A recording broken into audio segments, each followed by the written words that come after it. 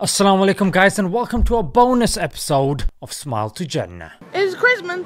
I'm sure you guys know that Muslims here in the West love this whole winter festive period. Not because of why it's done, but because of three main things to be honest. Number one, if you work on Christmas Day, you get double pay. Ching ching!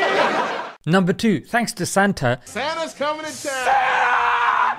Oh my god! In this one month, beards become less threatening. And number three, I think you know everyone's favorite, is discounts. But some people have even got shaitan confused during this festive period. It's beginning to look a lot like Eid, everywhere you go. Eid. Take a look at the five and ten. So Muhammad Salah on his Instagram page has posted pictures of him celebrating Christmas with his family and in particular there's a picture of him with his daughter that really caught my eye. MashaAllah she's very cute. May Allah protect him and her and his family from the evil eye. Ameen. And of course we know as Muslims we do not partake or celebrate Christmas because there's numerous reasons. Two main reasons are number one, how the date December 25th is linked to pagans, and number two, well, just this belief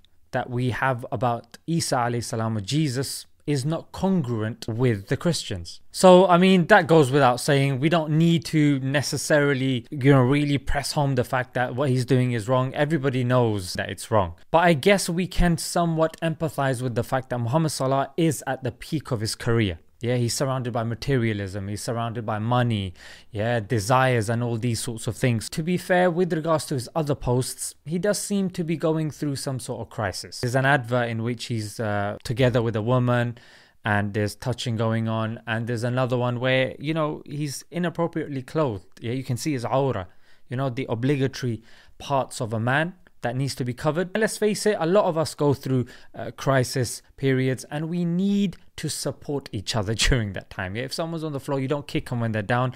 You make dua for them. You help with any confusions that they have. You advise them with the best of manners. May Allah use him as an example, just like Allah has used Khabib Nurmagomedov as an example. Alhamdulillah.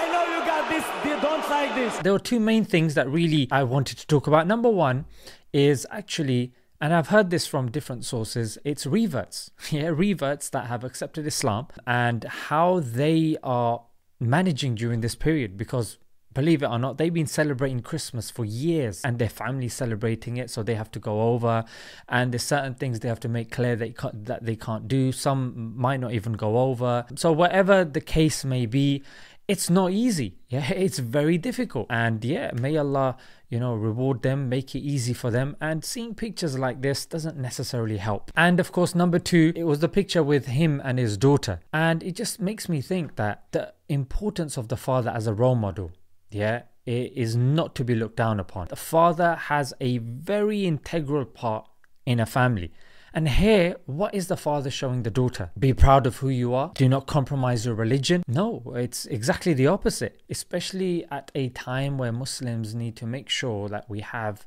and we stick by our identity. Especially as parents, we have a great deal of responsibility to make sure our kids are proud of their faith. Yeah. And doing stuff like this in your homes doesn't necessarily get that across. Let's look at Muhammad Salah. So, Muhammad Salah, would he be doing this with the Christmas tree if he was back home in Egypt? No chance. So, why is he doing it here? Just so he can fit in, just so, I mean, everybody else is doing it. Kids pick up on these things, and these are not the values that we should be getting across. Rather, we should be outside making the most of the discount growing the old beard, and quite possibly getting the double pay. Let's leave it there, guys. Until next time. It's beginning to look a lot like Eid. Assalamu alaikum.